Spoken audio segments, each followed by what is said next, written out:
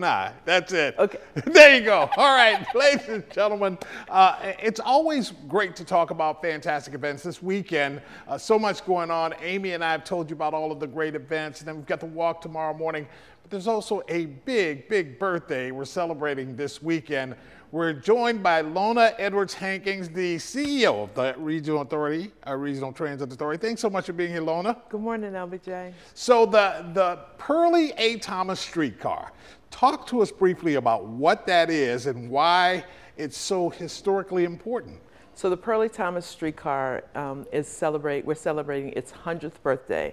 That streetcar um, was originally purchased from um, Mr. Perley Thomas, his engineering firm in High Point, North Carolina. Wow. NOPSI originally uh, purchased 173 of them. We have 13 remaining, but 13 of the originals. We have um, our staff manufactures and repairs all of the parts. I think that's so important because we have this entire workshop up at the Carrollton Barn, correct? Correct. Where we can build these things from top to bottom, Correct. and that's what we put. And it's the one that we're seeing here. We also visited the barn and take a look at some of that. It- It's awesome. So, Lona, when we talk about rebuilding these things and putting them back on the streets, I would imagine that's the only way we could have them because nobody else is manufacturing these. Nobody else has them.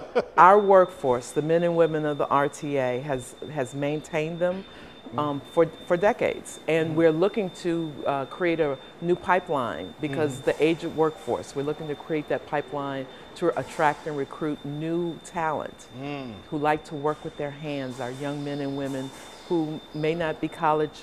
Uh, bound because they want to work with their hands. Yeah. And so we have a whole career path that we're re- rebuilding for them. That's fantastic. Now, we're not talking about the red streetcars that are on the canal line or any of that, correct? Correct. This is the green. The, green historic ones. St. Charles streetcars are 100 Wow. years old. Yeah. Yes. The same ones that I rode the bus from the, the Broad bus to the St. Bernard to go to Loyola to catch the streetcar to go uptown to the campus. Back when the tracks rocked. Way back when. But the reason that you're here, we got a big party tomorrow, 10 a.m. 10 a.m. to 1, 1 uh, p.m. is Uh-huh. a family celebration. Bring your children. Come celebrate this open house with us. We will have um, uh, activities for kids, and it'll be just a wonderful event. All right, at the Carrollton Barn. We'll see you tomorrow. Brantley, what you got?